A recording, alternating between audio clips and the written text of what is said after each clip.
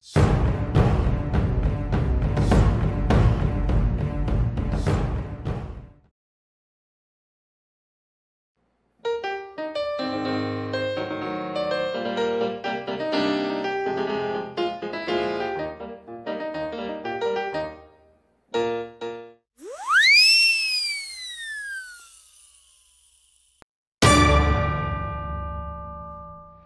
Fala aí galera, Arthur aqui da AP Games Brasil de volta, trazendo aí para o canal mais um vídeo aqui no Playstation 4 PES 2020 é o jogo, a série Master Liga com o Vasco da Gama treinado pelo baixinho Romário.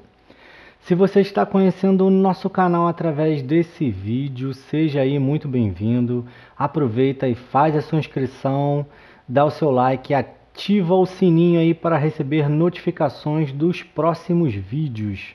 Comenta, indica jogadores, critica, enfim, o vídeo e a série é de vocês. Antes da gente começar aí o episódio, eu gostaria de indicar aí um canal de um inscrito que também tem canal no YouTube e ele também joga e gosta de jogos de futebol. Ele faz aí série de FIFA 20 e de PES 2020 também. Vou deixar o link do canal dele aí na descrição. Entra lá, dá uma olhada, se inscreve no canal. Gustavinho MDS. Então, bora lá pro episódio. Então, bora lá para a primeira partida do episódio, o clássico aqui no Campeonato Brasileiro, Fluminense e Vasco. Rodando aí o elenco do Vasco porque sempre estamos precisando fazer essas mudanças devido a cansaço. Alguns outros jogadores ficam com a setinha para baixo, né? Então a gente coloca aí Jordi no gol. Breno entra na zaga, na lateral direita entra Gilberto, meio-campo tem aí as entradas de Wallace e Guarim. E o ataque é o mesmo, o trio atacante aí, Martin Benítez, Germancano e Thales Magno. No Fluminense temos aí Muriel, irmão aí do goleiro Alisson do Liverpool e da seleção brasileira. Destaco aí também Yane Gonzalez, um bom jogador. Caio Henrique, que aqui ainda estava no Fluminense, né? O zagueiro Nino, jovem aí, promissor. E é isso, vamos lá, para cima deles, Vasco. Bem, amigos da AP Games Brasil, este é o Campeonato Brasileiro Série A estádio do Maracanã, que já foi o maior do mundo. Casa aqui no jogo do Fluminense. Fluminense Vasco Campeonato Brasileiro. Os tricolores são os mandantes da partida. Vocês veem aí o time do Fluminense entrando no Maraca. Chuva de papel picado, como sempre. Uma panorâmica aí do estádio muito bonita, por sinal. Vocês veem aí o goleiro Muriel do Fluminense. Jogadores aí sendo saudados pela torcida. No PES 2020 não tem estádio vazio. Vocês já sabem disso. Os tricolores vibrando com o seu time perfilado no meio do campo. Vamos ver aí daqui a pouco. Ah, apareceu o Screte Cruz Maltino Vasco da Gama aí de Thales Magno no campo também. Vamos ver aí o Fluminense que tem aí Caio Henrique, Yane Gonzalez, Evandro, zagueiro Nino, Muriel. São os jogadores aí que eu mais destaco.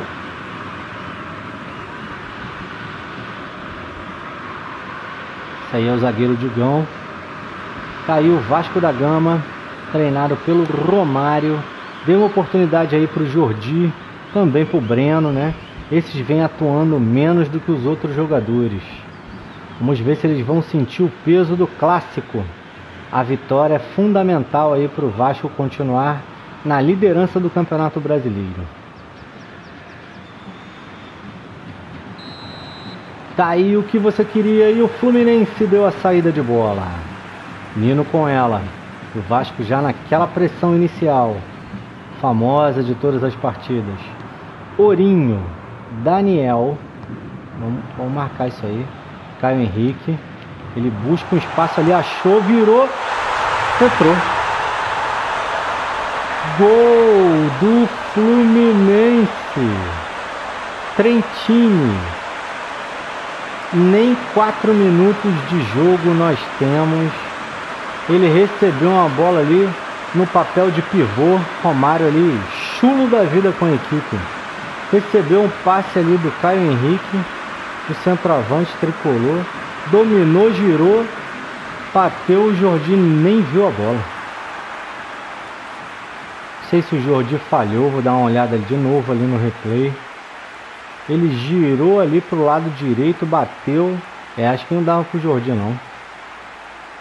1 a 0 pro Fluminense.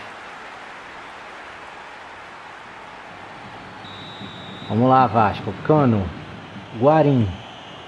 Encontrou o Thales Magno. Recebeu o cano ali, dominou. Passa, meu filho. Passou na direita ali o Benítez. Ele vem tentando invadir a área. Bateu o Benítez. Pega o goleiro Muriel. Quase que o Vasco ali já empata no lance seguinte.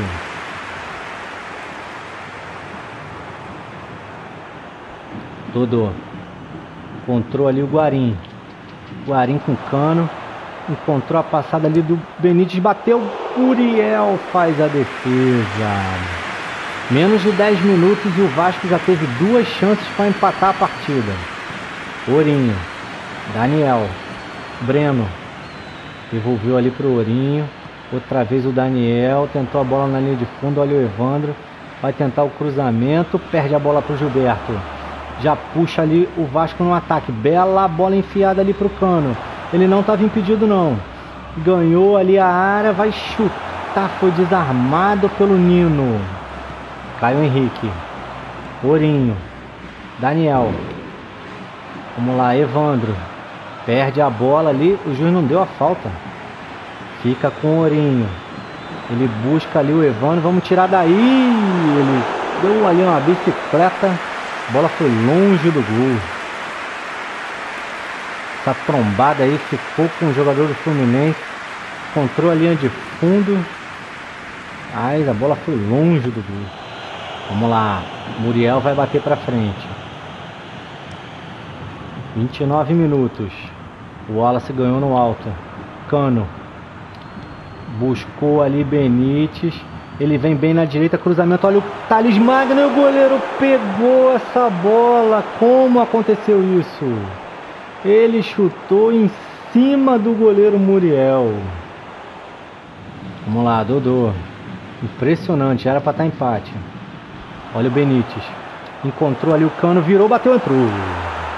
Golão, golão, golão! Ufa! Germancano empata a partida aos 33 minutos, quase 34.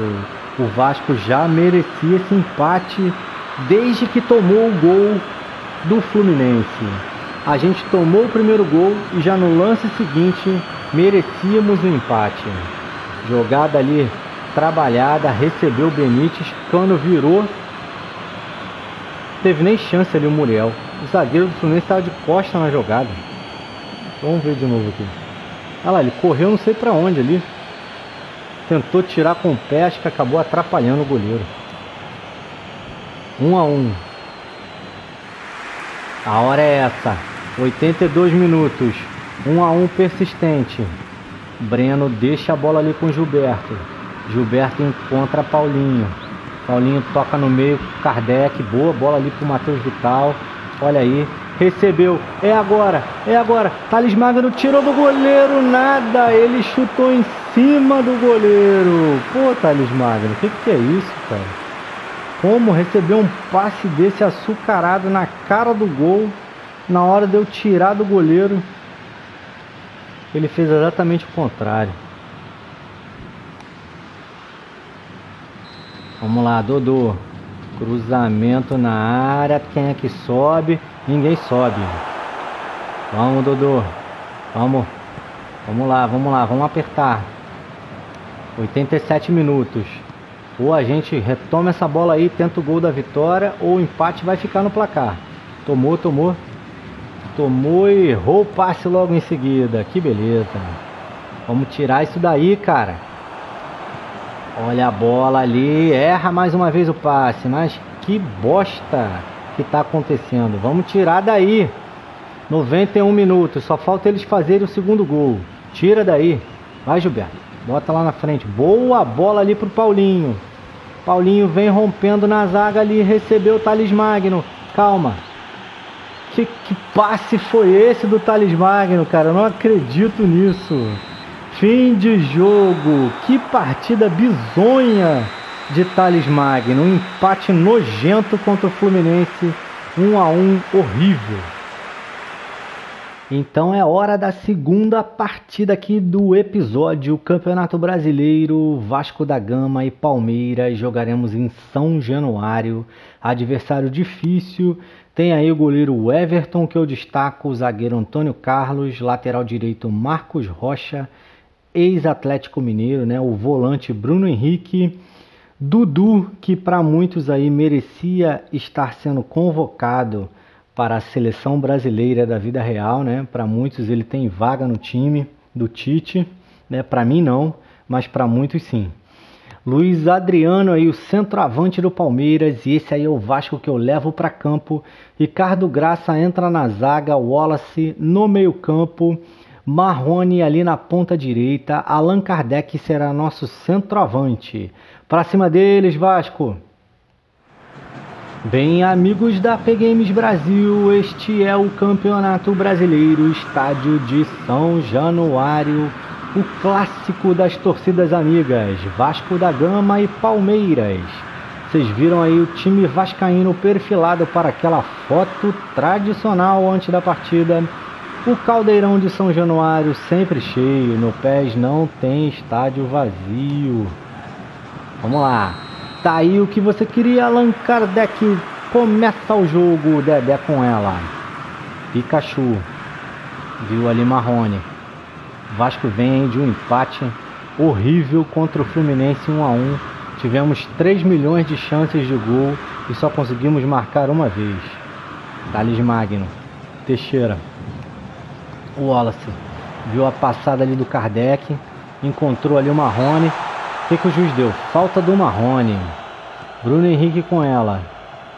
Guerra. Tenta o lançamento ali. Fica com o Dodô. Toca com Wallace. Teixeira volta para buscar jogo. Deixa ali com Douglas Luiz. Passa, meu filho. Vamos, Dodô. Isso. Bola lá em profundidade pro Dodô. Mas foi muito em profundidade. Marcos Rocha bate o lateral, deixa ali com Carlos Eduardo. Tenta ali apertar o Thales Magno, mas ficou com guerra. Bruno Henrique no lançamento para Luiz Adriano. Dedé ali não ganhou no alto, a bola ficou com o Dudu, que é o jogador mais perigoso do Palmeiras. Olha aí, boa retomada do Wallace. Ele briga ali com o Luiz Adriano e fica com ela. Ricardo Graça. Encontra Douglas Luiz que abre bem ali na canhota para Dodô. O lateral vascaíno deu o break ali, deixou com o Thales Magno. Recebeu ali Alex Teixeira.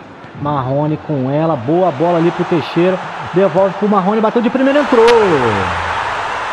Golão, golão, golão dele. Marrone, o camisa 17. Ele recebeu um passe ali do Allan Kardec pelo meio. De primeira com a perna esquerda, o goleiro Everton acho que não esperava esse chute. Foi um chute assim meio de surpresa, o goleiro palmeirense ficou meio perdido no lance. Olha lá, ele tocou na esquerda, recebeu de volta, pegou de primeira. O goleiro estava ali meio que no meio do gol e a bola foi mais para o canto esquerdo do goleiro ali que quando pulou, a bola já tinha passado. Acho que ele foi pego de surpresa. Marrone, 1 a 0 Vasco. Foi dada a saída aí pelo Palmeiras. Vitor Hugo com a bola já tentando esticão ali pro Luiz Adriano. Ele tá ganhando todas no alto. Olha o Guerra. Encontrou ali o Carlos Eduardo. Devolveu pro Guerra. Abriu na direita ali pro Carlos Eduardo. Quem é que vai chegar na jogada? Vai deixar ele passar. Olha aí, Dodô. Conseguiu, mas ele perdeu a bola logo em sequência. Vamos tirar isso daí, não deixa ninguém chutar não. Olha o Guerra, tira daí sem falta. Tira daí, meu Deus. Olha o Dudu. Pegou, voltou. De novo. Ah, Gol do Palmeiras. Bate, rebate dentro da área do Vasco. Guerra estava lá dentro da área para só empurrar para dentro do gol. Bateu roupa ali o Fernando Miguel. Dei mole ali, não consegui cortar a jogada na, na ponta ali na direita. bola sobrou ali pro Dudu. Não sei como é que o Dudu não fez o gol. Foi duas vezes que a bola bateu no Fernando Miguel. Aí ela sobrou limpa ali pro Guerra. Só teve o trabalho de empurrar pro gol. Douglas Luiz, Thales Magno, Dudu. Busca ali o Thales de novo. Encontrou o Teixeira. Teixeira no Marrone. Marrone no Thales. Olha aí a jogada. De novo, Marrone bateu, entrou. Golão, golão, Marrone. Segundo gol dele na partida. 2 a 1 um, sofrido, chorado, como sempre. Recebeu o passe ali pelo lado direito ali da grande área. Eu não sei se foi com a perna direita ou se foi com a esquerda. Mas o que importa é que Marrone marca o segundo gol no jogo e mostra que é um cara muito útil ali para o time. Foi com a direita mesmo. Quase caído, ele consegue fazer o segundo. 2 a 1. Um. Essa vitória é fundamental para o time. Não podemos empatar. Carlos Eduardo. Olha aí a jogada, vem Pikachu, chega no Luiz Adriano, não deixa ele chutar não. Não, olha o Dudu, ele bateu, virou na trave. Não passa uma agulha no torcedor vascaíno.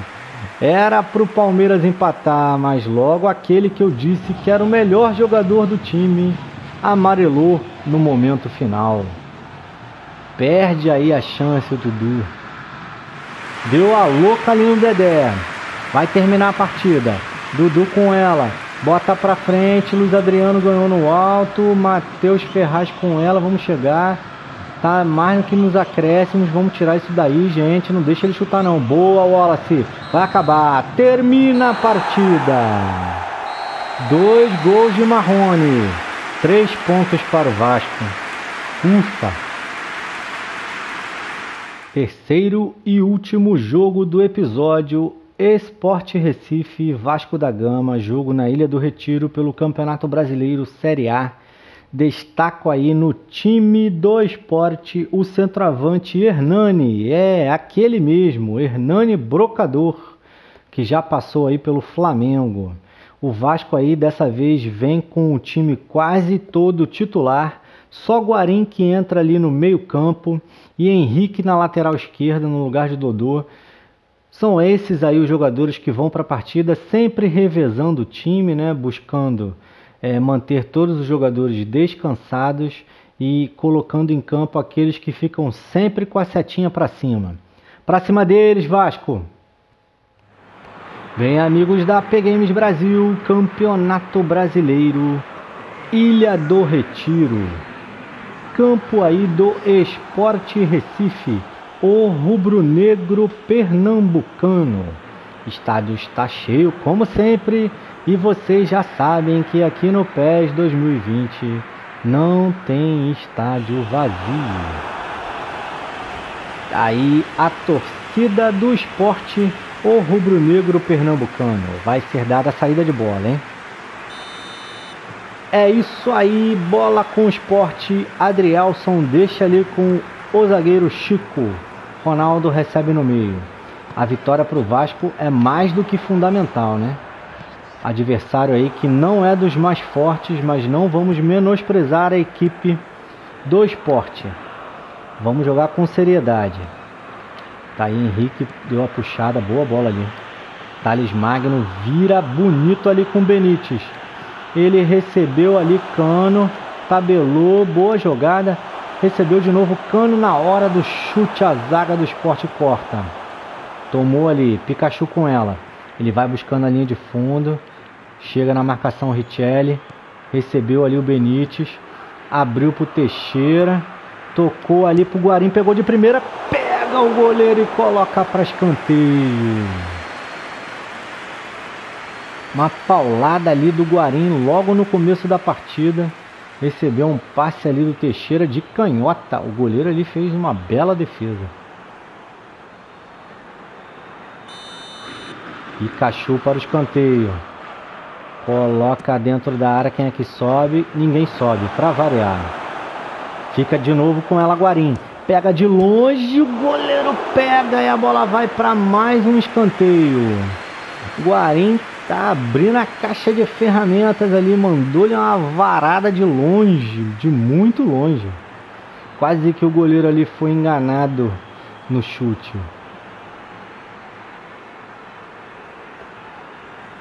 Fazer diferente dessa vez. Vou bater ali para entrada da grande área. Pegou ali. Ah, o Souza ia chegar chutando. Mas não deu. Olha aí, Hernani Brocador. Ele conseguiu fazer o giro. Pablo Pardal. Quem é Pablo Pardal? Ele entrou, bateu e Fernando Miguel fez a defesa. Quase que o Vasco toma um gol de um jogador chamado Fernando Pablo Pardal. Quem é Pablo Pardal de novo? Olha o brocador, tira daí. Ai, tomou. Eu falei, vinha falando. O esporte abre o marcador. Everton, numa rebatida bizarra ali do Fernando Miguel. Vocês veem as gotas de chuva que começa a cair aqui na Ilha do Retiro. E o esporte não precisou de muita coisa para conseguir empatar. Aonde estava ali o nosso grande lateral esquerdo Henrique? Volta Dudu, o Henrique não dá, não marca ninguém. Olha essa jogada. Ele estava na jogada, deixou o Everton ali passar. 1 a 0 Sport. Diego. O esporte vai dominando completamente a partida. Pikachu. Pai, passa meu filho. Passa, ninguém passa na frente. Olha aí o Teixeira. É a chance para o Cano. A batida do Cano. Isso foi um chute para o gol.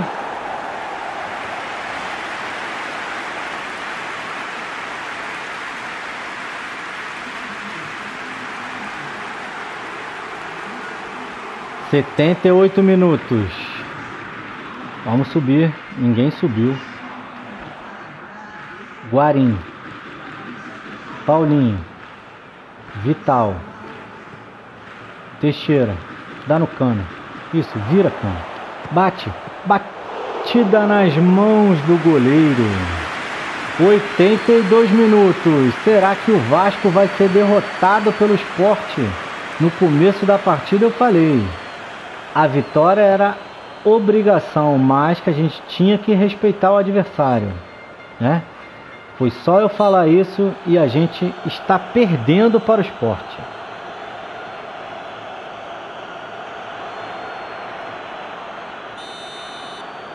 85 minutos. Bruno Pérez.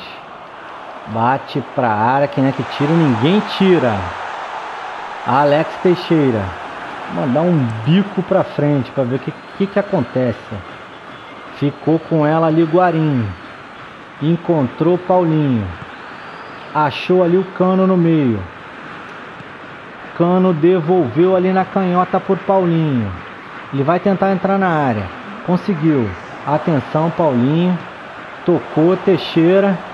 Vai buscar o espaço. Voltam dois em cima do Teixeira. Ele toca atrás. Olha o cano. Tenta virar. Não consegue virar para o chute. E o jogo acaba. O Sport Recife vence o Vasco por 1 a 0 na Ilha do Retiro. Terminadas as três partidas do episódio, hora de mostrarmos aí a classificação da Série A Campeonato Brasileiro. O Vasco da Gama no episódio teve um empate, uma vitória e uma derrota surpreendente para o Sport Recife. Mesmo com esses três resultados, continuamos na liderança com 36 pontos, um à frente do Flamengo, que é o que? Qual é a posição do Flamengo?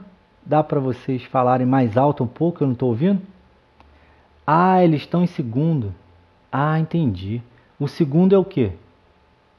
Não escutei. Ah, é o vice. Ah, entendi. O Flamengo é o vice.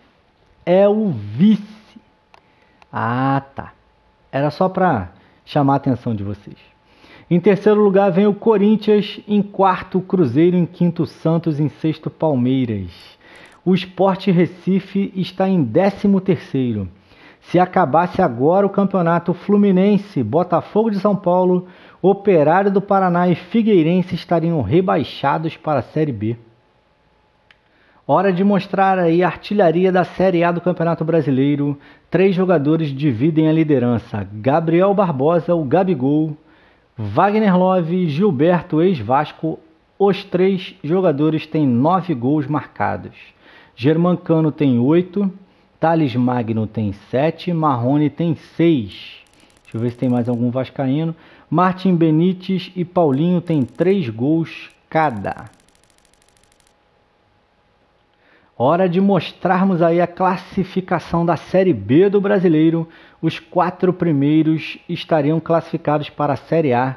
Seriam estes se o campeonato acabasse hoje: Coritiba, Vila Nova, América Mineiro e CRB. Red Bull Bragantino, Botafogo do Rio em sexto lugar apenas, estaria fora da Série A na próxima temporada. Guarani, Vitória, Paraná. Quem são os piores aqui? Criciúma, Ceará, Atlético Goianiense e Cuiabá. Esse aí é o time que está escalado como time do mês de julho. Everson é o goleiro do Santos, a zaga composta por Quinteiro do Fortaleza, Igor Rabelo do Atlético Mineiro. Os laterais, Mailton do Operário do Paraná, é o lateral direito, Felipe Luiz do Flamengo, é o lateral esquerdo. De volante, Gabriel, temos aí Bruno Guimarães do Atlético Paranense, Andrigo do Figueirense e outro jogador do Figueirense que é genérico. Não sabemos quem é. O ataque é composto por Alex Teixeira e Gabigol. E é isso, o episódio vai se encerrando. O episódio aí bem mais ou menos, né, de matéria de resultados e de atuações do Vasco. É, Thales Magno vem numa descendente, vem jogando mal, mal mesmo. Vamos ver se ele consegue se recuperar nas próximas partidas. Teremos aí no próximo episódio um jogo contra o Inter de Porto Alegre no Rio o clássico que já foi final de campeonato brasileiro na vida real contra o São Paulo, lá no Morumbi, no Cícero Pompeu de Toledo. E teremos o jogo da volta das oitavas de final da Libertadores, o jogo contra o Aliança de Lima. E o jogo vai ser lá no Peru. Promete, vai ser bem difícil e o Vasco tem que se classificar. O vídeo vai ficando por aqui. Um abraço a todos, até a próxima. Valeu!